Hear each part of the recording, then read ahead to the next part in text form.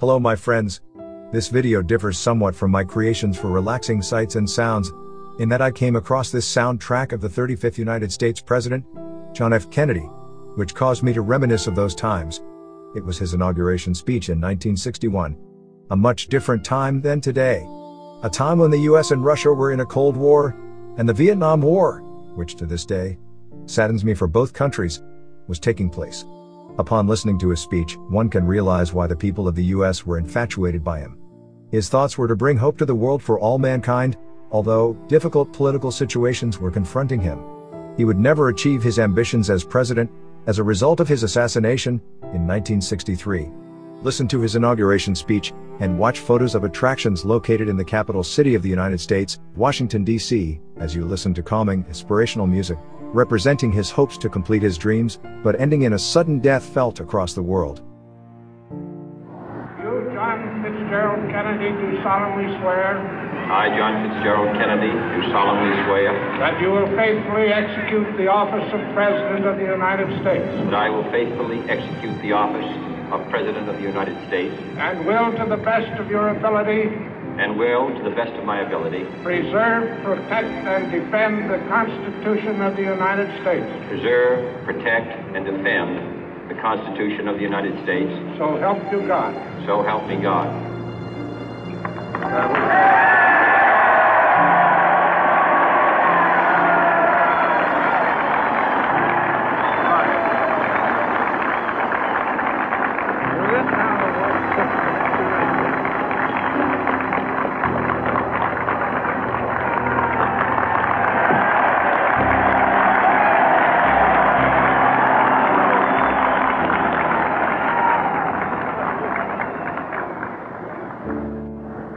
President Johnson, Mr. Speaker, Mr. Chief Justice, President Eisenhower, Vice President Nixon, President Truman, Reverend clergy, fellow citizens. We observe today not a victory of party, but a celebration of freedom, symbolizing an end as well as a beginning, signifying renewal as well as change.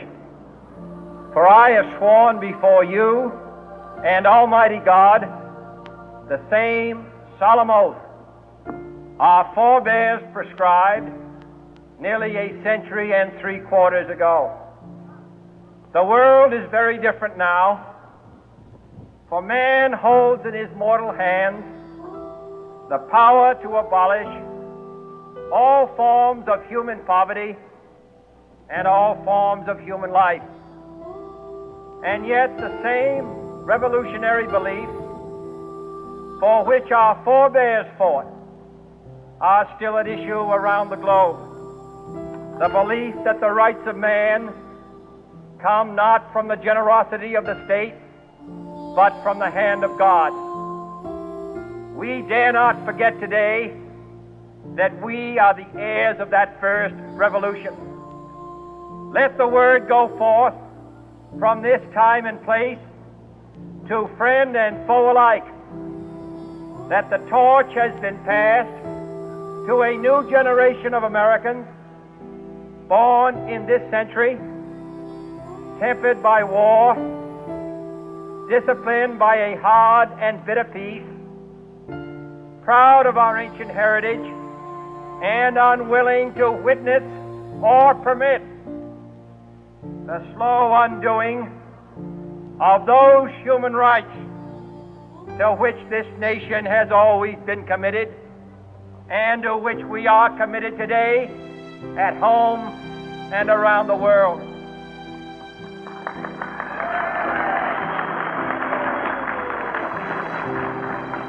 Let every nation know, whether it wishes us well or ill, that we shall pay any price, bear any burden, meet any hardship, support any friend, oppose any foe to assure the survival and the success of liberty.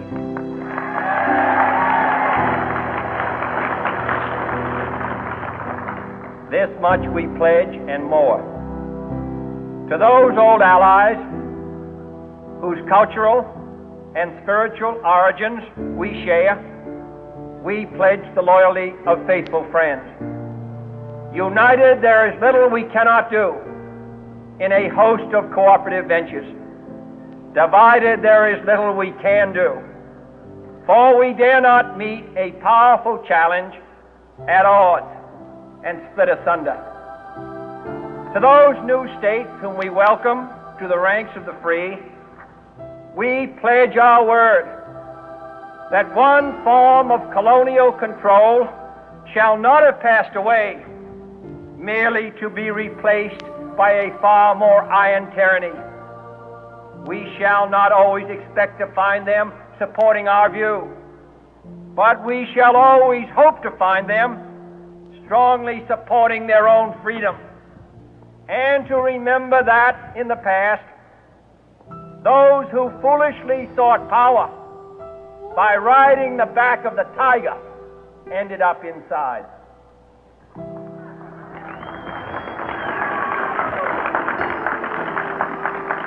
To those people in the huts and villages of half the globe struggling to break the bonds of mass misery, we pledge our best efforts to help them help themselves for whatever period is required, not because the communists may be doing it, not because we seek their votes, but because it is right. If a free society cannot help the many who are poor, it cannot save the few who are rich.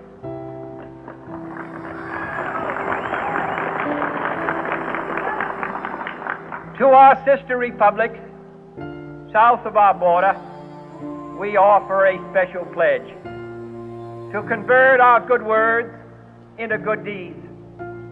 In a new alliance for progress, to assist free men and free governments in casting off the chains of poverty.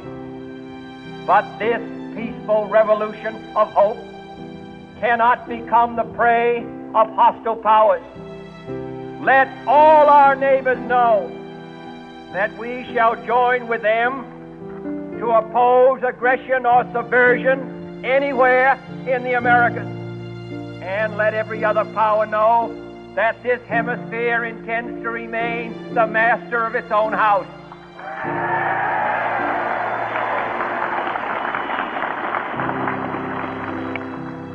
To that World Assembly of Sovereign States, the United Nations, our last best hope in an age where the instruments of war have far outpaced the instruments of peace, we renew our pledge of support to prevent it from becoming merely a forum for invective, to strengthen its shield of the new and the weak, and to enlarge the area in which its writ may run. Finally, to those nations who would make themselves our adversary, we offer not a pledge, but a request that both sides begin anew the quest for peace. Before the dark powers of destruction, unleashed by science, engulf all humanity in planned or accidental self destruction. We dare not tempt them with weakness, for only when our arms are sufficient beyond doubt can we be certain beyond doubt that they will never be employed. But neither can two great and powerful groups of nations take comfort from our present course, both sides overburdened by the cost of modern weapons, both rightly alarmed by the steady spread of the deadly atom, yet both racing to alter that uncertain balance of terror that stays the hand of mankind's final war.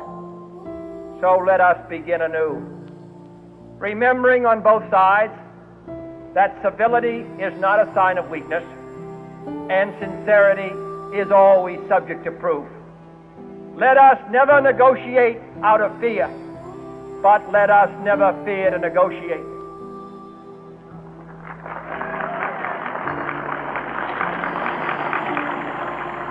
Let both sides explore what problems unite us instead of belaboring those problems which divide us. Let both sides, for the first time, formulate serious and precise proposals for the inspection and control of arms and bring the absolute power to destroy other nations under the absolute control of all nations.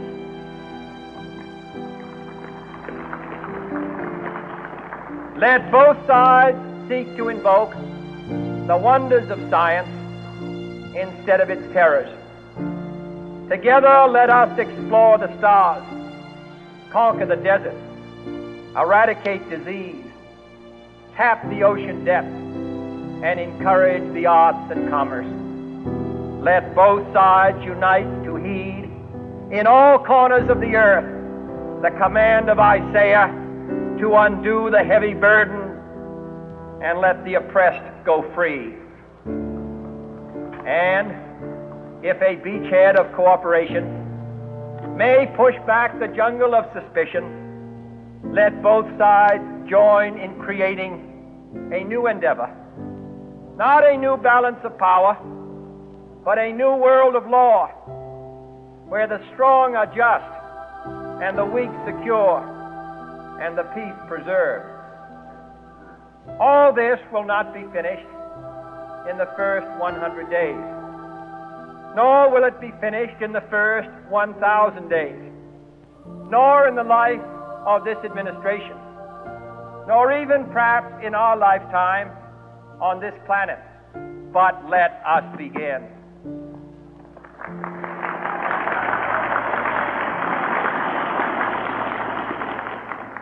In your hands, my fellow citizens, more than mine, will rest the final success or failure of our course. Since this country was founded, each generation of Americans has been summoned to give testimony to its national loyalty.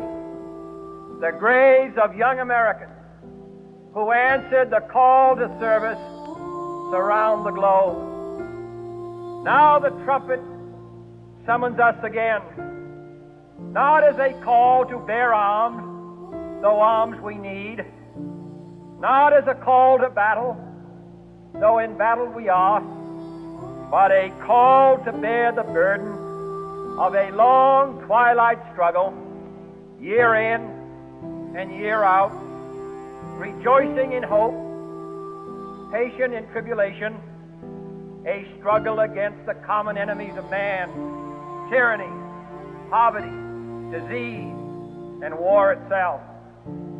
Can we forge against these enemies a grand and global alliance, north and south, east and west, that can assure a more fruitful life for all mankind? Will you join in that historic effort?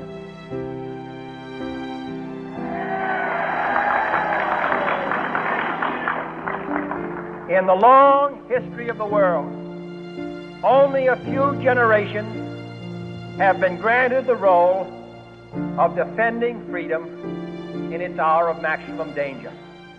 I do not shrink from this responsibility. I welcome it.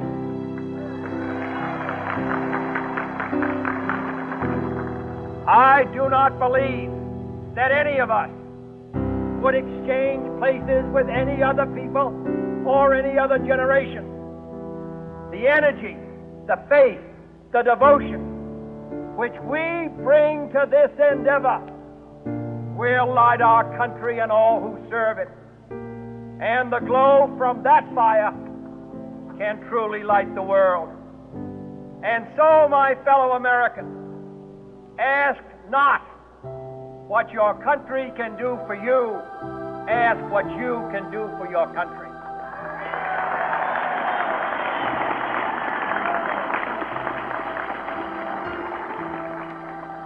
My fellow citizens of the world, Ask not what America will do for you, but what together we can do for the freedom of man.